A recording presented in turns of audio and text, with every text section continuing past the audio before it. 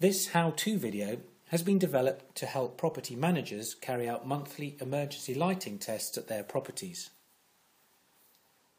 The owner or a person in control of the property is responsible for carrying out a number of actions and tests on the property's emergency lighting system to ensure compliance with means of escape legal requirements. Emergency lighting is lighting for an emergency situation when the main power supply is cut and any normal illumination fails. The loss of mains electricity could be the result of a fire or a power cut and the normal lighting supplies fail. This may lead to sudden darkness and possible danger to the occupants, either through physical danger or panic. All emergency lighting systems must be tested on a monthly basis. The test is a short functional test in accordance with British Standard 5266 Part 8. During this period, all emergency lighting and signs need to be checked to ensure that they are functioning correctly. For newer properties, there will usually be a testing switch adjacent to or in the vicinity of the emergency light.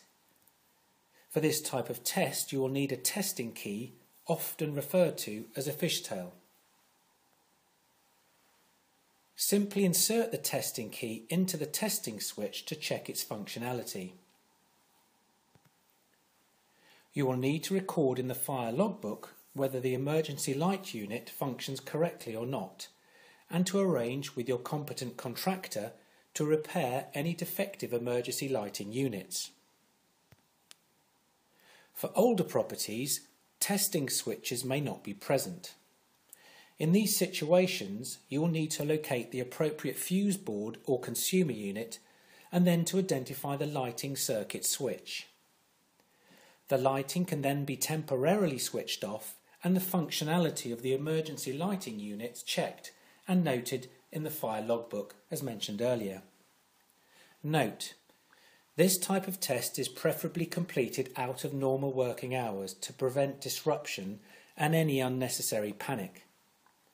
Should this test be completed during normal office hours, then you must notify the occupants beforehand.